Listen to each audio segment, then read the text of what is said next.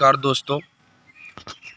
आज high school matric परीक्षा के लिए विज्ञान के कुछ महत्वपूर्ण प्रश्न, जो आपको बोर्ड परीक्षा में अधिक से अधिक मार्क्स लाने में मदद करेंगे। इस वीडियो को ध्यानपूर्वक देखें, सुने। चलते हैं पहला प्रश्न की ओर। पहला प्रश्न है, निम्न में कौन दुर्बल अम्ल है? चार ऑप्शन दिए गए हैं। H C L H N O three H two S O four C S three C double O H तो इसका सही आंसर है option number D C H three C double O H चलिए next question की ओर चलते हैं। Potassium का परमाणु क्रमांक क्या है? पोटेशियम की परमाणु संख्या क्या है? इसका सही आंसर है ऑप्शन नंबर एक, उन्नीस। नेक्स्ट क्वेश्चन की ओर चलते हैं। नेक्स्ट क्वेश्चन है, निम्न में कौन मुख्यतः बायोगैस है? बायोगैस का उदाहरण है मिथेन गैस जो आपके ऑप्शन नंबर बी में दिया गया है। मिथेन गैस धान के खेत में मिथेन गैस का उपयोग किया जाता है। सेफ्टी टैंक लैंप में मिथेन गैस का उपयोग किया जाता है। चौबीस नंबर प्रश्न है, साधारण नमक का रासायनिक सूत्र क्या है? साधारण नमक का रासायनिक सूत्र N A C L sodium chloride इसे हिंदी में कहते हैं। N A O H sodium hydroxide है।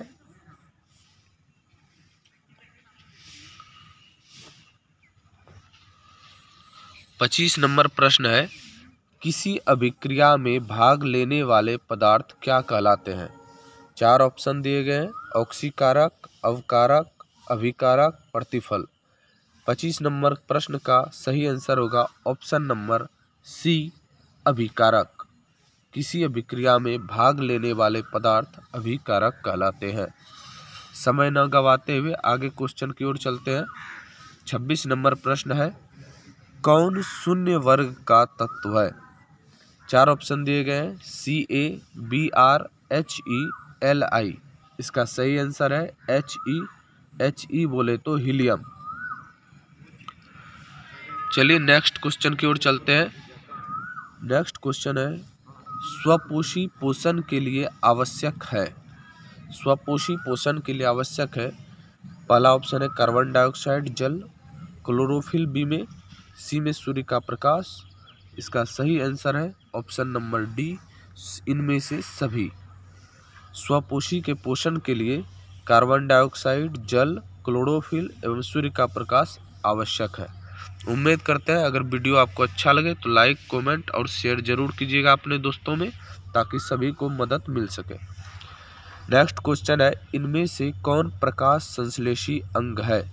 प्रकाश संश्लेषण की क्रिया पत्तियों द्वारा होती है, इसलिए आपका सही आंसर है ऑप्शन नंबर सी, पत्ती। आगे क्वेश्चन की ओर चलते हैं। आगे प्रश्न है, मनुष्य के शरीर की सबसे बड़ी ग्रंथि कौन सी है? मनुष्य के शरीर की सबसे बड़ी ग्रंथि यकृत है, जिसे लीवर इंग्लिश में कहते हैं। मिश्रित ग्रंथि एड्रिन, मिश्रित ग्रंथि थायराइड ग्रंथि है। नेक्स्ट क्वेश्चन की ओर चलते हैं। नेक्स्ट क्वेश्चन है, पादप में जाइलम के लिए उत्तरदायी है। मतलब जाइलम का कार्य पादप में क्या होता है? तो इसका सही आंसर है, ऑप्शन नंबर एक, जाइलम जल वहन के लिए आवश्यक है। फ्लोएम का काम पौधों में भोजन आदि पहुंचाना है।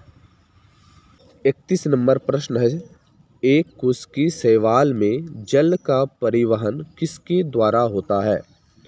तो इसका ऑप्शन है, ए पराशरण, बी चालनी नलिकाओं द्वारा, सी विसरण द्वारा, डी इनमें से कोई नहीं। इसका सही आंसर है ऑप्शन नंबर सी, विसरण के द्वारा एक कोश की सेवाल में जल का परिवहन होता है। चलिए आगे की ओर चलते हैं। बत्तीसवा प्रश्न है, मछली के हृदय में कोष्ठों की संख्या कितनी होती है? इसका सही आंसर है ऑप्शन नंबर एक, दो। मछली के हृदय में दो कोष्ठ होते हैं, मनुष्य में चार, मेढक में तीन। चलिए नेक्स्ट क्वेश्चन की ओर चलते हैं। नेक्स्ट प्रश्न है, निम्नलिखित में कौन एमिनो अम्ल के विखंडन से बनता है? ऑप्शन नंबर एक दिया गया है C two option number B C O option number C N H three और ऑप्शन नंबर डी बी और सी इसका सही आंसर है ऑप्शन नंबर डी बी और सी मतलब सी ओ सी ओ और एन एच थ्री ये क्वेश्चन बहुत ही महत्वपूर्ण है। चौंतीस नंबर प्रश्न, ऑक्स, ऑक्सीन है। ऑक्सीन क्या है? ऑक्सीन एक हार्मोन है ऑक्सीन वसा है ऑक्सीन एंजाइम है ऑक्सीन कार्बोहाइड्रेट है। तो इसका सही आंसर है ऑक्सीन एक हार्मोन है। आगे की ओर बढ़ते हैं। पैंतीसवा प्रश्न है, एक नर हार्मोन है, ये चार ऑप्शन में कौन सा नर हार्मोन है? पहला है adrenaline thyroxine, oestrogen, D number है टेस्टोस्टेरॉन। तो इसका सही आंसर है ऑप्शन नंबर डी, टेस्टोस्टेरॉन। चलिए आगे की ओर बढ़ते हैं। अगला प्रश्न है, इनमें से कौन अलैंगिक जनन की विधि है? पहला है विखंडन, दूसरा है मुकुलन, सी है द्विखंडन। इनमें से सभी। इसका सही आंसर है। अलैंगिक जनन की विधि है। इनमें से सभी मुकुलन, विखंडन, द्विखंडन। सैतीस नंबर प्रश्न की ओर चलते हैं। प्रश्न है, पराग कोश में होते हैं। पहला, अंडाशय। बाह्यदल, अंडप परागकन इसका सही आंसर है, ऑप्शन नंबर एक बाह्य दल नेक्स्ट प्रश्न की ओर चलते हैं। अड़तीसवा प्रश्न है। अनुवंशिक गुणों का संदेश होता है। इस पहला ऑप्शन है डीएनए अणु द्वारा जीव द्रव्य तंत्रिका में, मस्तिष्क में। इसका सही आंसर है ऑप्शन नंबर एक, डीएनए अणुओं में। अनुवंशिक गुणों का संचरण होता है। चलिए नेक्स्ट क्वेश्चन की ओर चलते हैं। बहुत ही इंपॉर्टेंट क्वेश्चन है ये। देखिए, बार बार परीक्षा में रिपीट होता है। किस वैज्ञानिक को अनुवंशिकी का पिता कहा जाता है? तो अनुवंशिकी का जनक option number B, Gregor John Mendel को कहा जाता है। जीव विज्ञान का पिता अरस्तु को कहा जाता है। रॉबर्ट हुक को कोशिका कोशिका का जन्मदाता रॉबर्ट हुक को कहा जाता है। अनुवंशिकी का पिता ग्रेगर जॉन मेंडल, सही आंसर है। Option number B. चालीसवा प्रश्न है, हाइड्रिला पौधे में रंध कहाँ पाए जाते हैं? पहला है पत्तियों में, दूसरा है तना पर, तीसरा है पत्तियों एवं तना दोनों पर, और ऑप्शन डी है इनमें से कोई नहीं।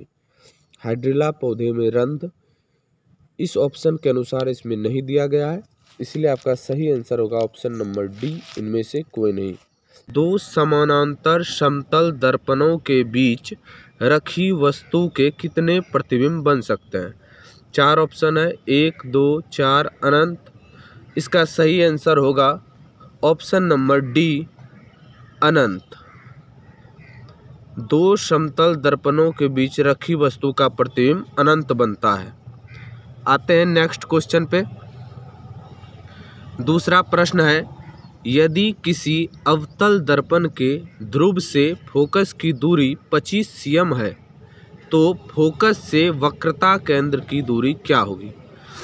एक रेखा है, जिसमें बोला गया है कि ए से बी तक की दूरी 25 है तो इसको विपरीत से पूछ लिया गया है कि बी से ए तक की दूरी कितनी होगी?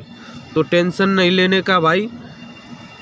इधर से एक सीधा से पूछे या उधर से पूछे 25 सी है इधर से तो 25 सी उधर से भी होगा। इसका राइट आंसर है ऑप्शन नंबर बी पच्चीस सी आइए नेक्स्ट क्वेश्चन की ओर चलते हैं दोस्तों।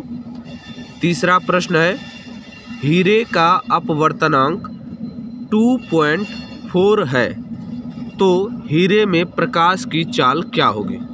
इसका सही आंसर होगा ऑप्शन नंबर डी 1.2 गुना दस पावर आठ मीटर प्रति सेकंड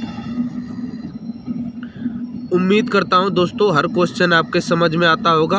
अब चलते हैं नेक्स्ट क्वेश्चन की ओर।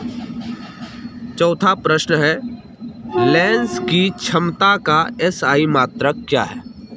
तो प्रिय विद्यार्थियों लेंस की क्षमता का एस आई मात्रक डायोप्टर है। डायोप्टर को हम एम माइनस वन पावर से भी डिनोट या सूचित कर सकते हैं। इसलिए इसका सही आंसर ऑप्शन नंबर तीन होगा। या इसी को डायोप्टर भी कहते हैं। डायोप्टर। चलते हैं दोस्तों नेक्स्ट क्वेश्चन की ओर। क्वेश्चन नंबर पाँच है, चंद्रमा पर खड़े अंतरिक्ष यात्री को आकाश कैसा प्रतीत होगा? कोई भी व्यक्ति अगर चंद्रमा पर खड़ा रहता है और वहाँ से आकाश को देखता है तो आकाश प्रायः काला दिखाई पड़ता है। इसलिए ऑप्शन नंबर डी, इसका सही आंसर होगा। चलते हैं नेक्स्ट क्वेश्चन की ओर। छठा प्रश्न है, विद्युत धारा की प्रबलता को मापने के लिए किसका उपयोग किया जाता है? तो इसका सही आंसर होगा, ऑप्शन नंबर एक, एमीटर, इसको आमीटर भी कहते हैं। चलते हैं नेक्स्ट क्वेश्चन की ओर दोस्तों। नेक्स्ट क्वेश्चन है विद्युत चुंबक बनाने में प्रायः किस पदार्थ के छर का उपयोग किया जाता है? पहला ऑप्शन है नरम लोहा, दूसरा पीतल, तीसरा इस्पात, चौथा नन ऑफ़ दीज। विद्युत चुंबक प्रायः नर्म लोहा के बनाए जाते हैं। शुद्ध आंसर है ऑप्शन नंबर एक। उम्मीद करते हैं कि इस सब, ये सेशन आपको बहुत अच्छा लग रहा होगा। अगर सेशन अच्छा लगे तो लाइक, कमेंट ज़रूर कीजिएगा। ताकि हमें भी मोटिवेशन मिलता रहे। नेक्स्ट क्वेश्चन है, कौन सा अधातु विद्युत का सुचालक है? तो विद्युत का सुचालक इनमें से ग्रेफाइड है, जो ऑप्शन नंबर बी में है दोस्तों। राइट आंसर आपका हो गया ऑप्शन नंबर बी ग्रेफाइड ये अधातु है, जो विद्युत का सुचालक है। चलिए बढ़ते हैं नेक्स्ट क्वेश्चन की ओर। नौवा क्वेश्चन है आवर्त सारणी में किसी वर्ग में ऊपर से नीचे जाने पर तत्व का धात्विक गुण क्या होता है? यदि वर्ग में ऊपर से नीचे जाएँगे दोस्तों तो तत्व का धात्विक गुण बढ़ जाता है। जो आपका ऑप्शन नंबर सी में दिया गया है, ये राइट आंसर होगा। चलिए नेक्स्ट क्वेश्चन की ओर चलते हैं। दसवा प्रश्न है, bond C double O H अभिक्रियाशील मूलक को क्या कहते हैं? तो इसका सही आंसर होगा दोस्तों, ऑप्शन नंबर सी, अम्ल। Bond C double O H अभिक्रियाशील मूलक को अम्ल भी कहते हैं। चलिए नेक्स्ट क्वेश्चन की ओर चलते हैं। ग्यारहवा प्रश्न है, हीलियम कैसा तत्व है? हीलियम एक अक्रिय तत्व है। ऑप्शन नंबर एक, सही आंसर होगा। चलिए नेक्स्ट क्वेश्चन की ओर। बारहवा प्रश्न है, आवर्त सारणी में कितने वर्ग होते हैं? यहाँ कुल होगा, कुल कितने वर्ग होते हैं? कुल लिख लीजिएगा, आवर्त सारणी में कुल कितने वर्ग होते हैं? इसका सही आंसर होगा ऑप्शन नंबर चार, अठारह। यहाँ कुल लिख लीजिएगा। चलिए नेक्स्ट क्वेश्चन की ओर चलते हैं। नेक्स्ट प्रश्न है तेरह नंबर, जल का पीएच मान कितना होता है? देखिए, जल उदासीन होता है और उदासीन का पीएच मान सात होता है। इसलिए आपका सही आंसर हो गया ऑप्शन नंबर बी, सात। जो सात से कम होगा, वह अम्लीय होगा, जो सात से अधिक होगा, वह क्षारीय होगा और जो पक्का सात पे होता है वह उदासीन होता है, इसलिए जल का पीएच मान सात हुआ तो जल उदासीन है। उदाहरण के लिए वर्षा का जल ले लीजिए। रक्त का पीएच मान सात पॉइंट चार, मूत्र का पीएच मान सिक्स, दूध का पीएच मान सिक्स पॉइंट फोर होता है। चलिए नेक्स्ट क्वेश्चन की ओर चलते हैं। चौदवा प्रश्न है, किसी पदार्थ से ऑक्सीजन का निष्कासन क्या कहलाता है? तो इसका सही आंसर होगा ऑप्शन नंबर बी। ऑक्सीजन का निष्कासन अगर किसी पदार्थ से होगा तो वह अवकरण कहलाएगा। चलिए, आगे बढ़ते हैं नेक्स्ट क्वेश्चन की ओर। पंद्रहवा प्रश्न है, वन पारिस्थितिक तंत्र में हिरण होते हैं। हिरण शाकाहारी जानवर होते हैं और अधिकतर शाकाहारी जानवर प्राथमिक उपभोक्ता की श्रेणी में आते हैं।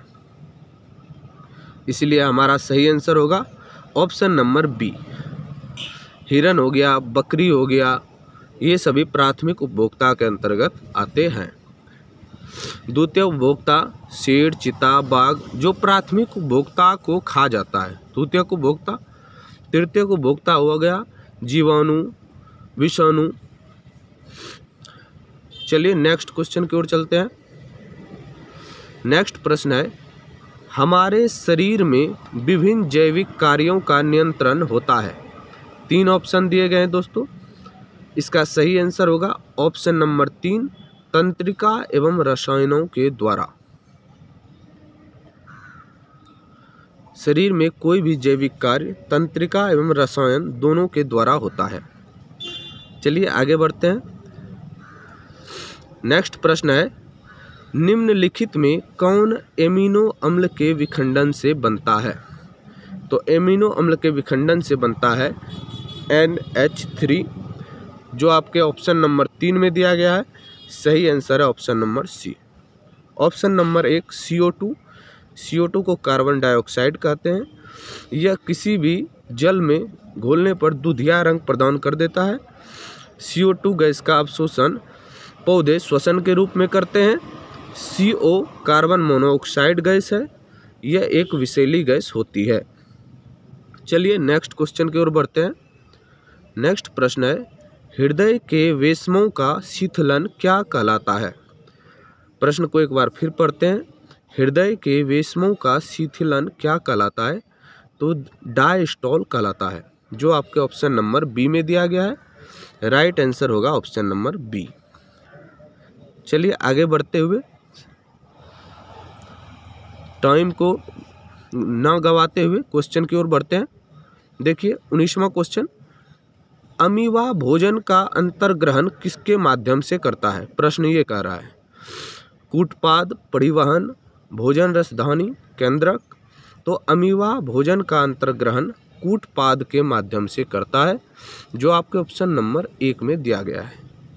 चलिए, आगे बढ़ते हैं।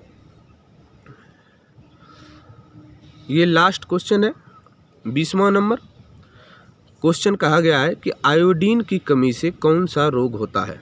तो आयोडीन की कमी से घेंगा रोग होता है, जो ऑप्शन नंबर डी में दिया गया है.